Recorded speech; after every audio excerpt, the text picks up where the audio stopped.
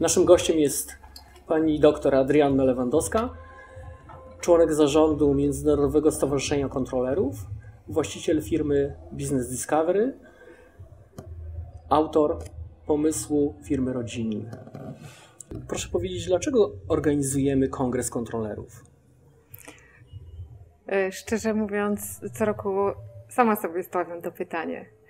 Bo, bo rzeczywiście pracy jest sporo, bo trzeba mm, czasami część biznesu skierować na tor poboczny i skoncentrować się na tym, co jest ważne dla stowarzyszenia, bo kongres jest częścią życia stowarzyszenia.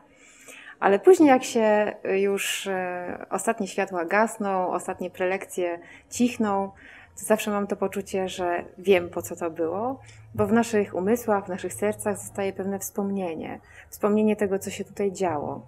A dzieje się zawsze bardzo dużo, bo dotykamy ważnych tematów, ważnych merytorycznie, ale ważnych też z punktu widzenia czysto ludzkiego, tego jak być jeszcze lepszym kontrolerem, jak być jeszcze lepszym partnerem biznesowym, jak być jeszcze lepszym człowiekiem. Dlatego organizacja kongresu zawsze ma sens.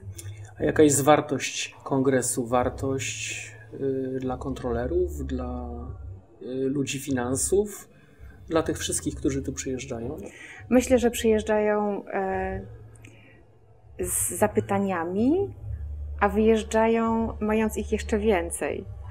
Natomiast są to pytania inspirujące, to są pytania takie, które, na które ciągle szuka się odpowiedzi, bo ta odpowiedź jest zmienna, to nie jest jedna, jedyna prawda, to jest ciągle zmieniająca się odpowiedź. I y, osoby, które biorą udział w naszych kongresach podkreślają, że rzeczywiście warto jest e, te pytania sobie stawiać, warto jest słuchać, jak inni szukają odpowiedzi, warto jest znać tych ludzi. Warto jest być w takim towarzystwie, które myśli podobnie, szuka podobnie, więc ta wartość na pewno jest y, zauważalna.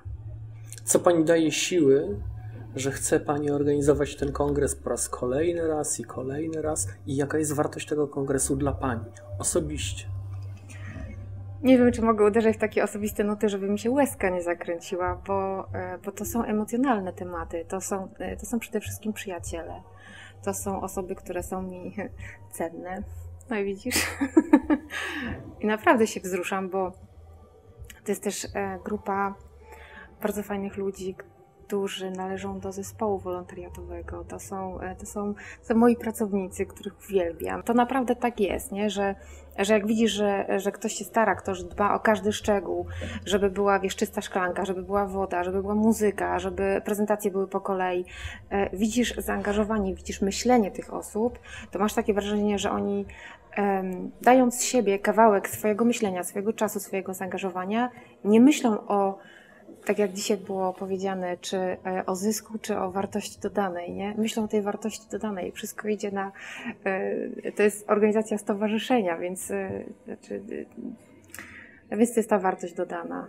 To jest osobiście to, co powoduje, że, że ja nie wiem, jak myślę o sukcesji, nie? Ja nie wiem, czy umiałabym oddać organizowanie tych kongresów. Pewnie też nikt nie chciałby tego przejąć, ponieważ boję się, że nikt nie, nie dorównałby takiemu poziomowi, na jakim kongres jest organizowany i takiemu sercu.